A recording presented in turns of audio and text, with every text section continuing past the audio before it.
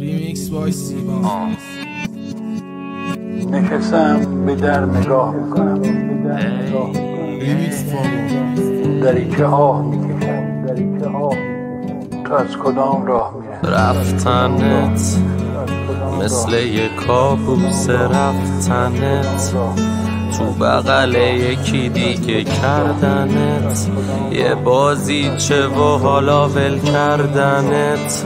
رو بدنت عطر اون مثل. داداشم بود. یعنی اگه نگرانی داشت شاکم بود ناهمواری داشت راش و کج بود. گذر ما سخت بود و ناراحت بود.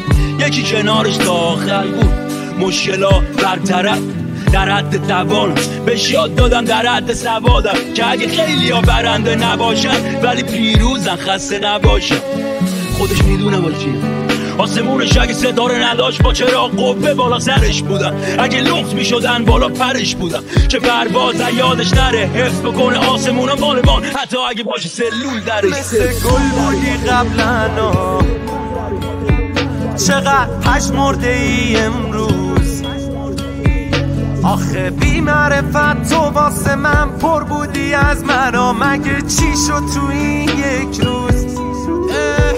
چقدر خل بودی قبلا. ولی حالا چه دلگیری؟ آخه بی معرفت من واسه تو پر بودم از رویا. مگه چی شد داری میری؟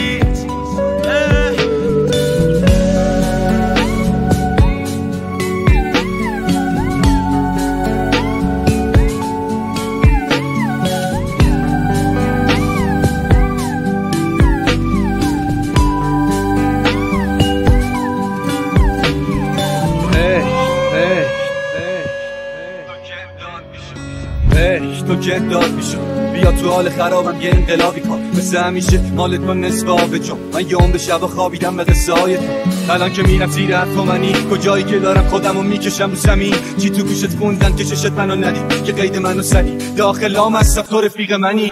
مدامی قیافه می‌گیری برا منم. الان که پاچیدم و می‌بینی سر و الان که دیگه هیچ گینی تو حال نرم باید ببینی آسنا چه ویترینی برام زدن. هر روز زور دنیا رو جفت پولامه نیستی و دیگه این مرد فقط یه پر رو داره گوشون که می‌خورد تو حالم می‌خورد تو حال شوزا که بیری می‌گفت مثل گل بودی قبلا چقدر پشمرده ای امروز.